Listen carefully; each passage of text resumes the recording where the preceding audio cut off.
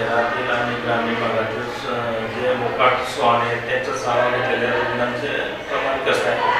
त्याच्यावर काय उपजिल्हा रुग्णालय चोपडा इथे रोज दोन ते तीन केसेस डॉग बाईटच्या येत असतात. आणि आम्ही त्यांना अँड इंजेक्शन वगैरे देऊन ड्रेसिंग लागलं तर जखम साफ वगैरे करून उपचार करत असतो. शहरातील आणि ग्रामीण भागात हो हो. शहरातील आणि ग्रामीण भागातील दोघीकडचे रुग्ण आमच्याकडे येतात. इंजेक्शनसाठी